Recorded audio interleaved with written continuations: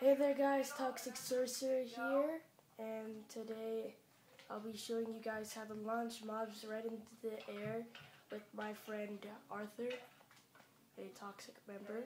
So you're gonna need a fishing rod, just go up to any random mob, doesn't matter, like a spider, throw a fishing pole at it, just fly up here and reel it back in and they fly up.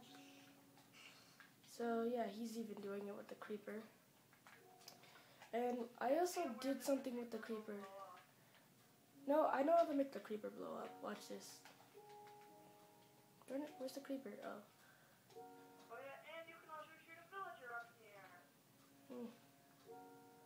Darn it. Okay, so what? Like the be fireworks kind of. Darn it. It's hard to launch a creeper and make it explode in midair, but I will do it.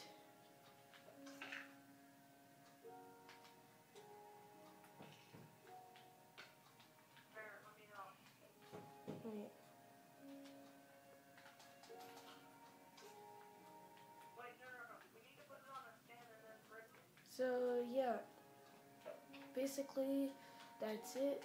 That's how you. How you just reel in animals.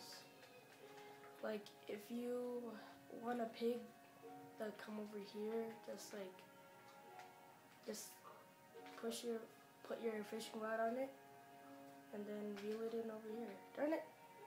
Hmm, See? So yeah, that's it. That's a tutorial. So yeah. Toxic Sorcerer out.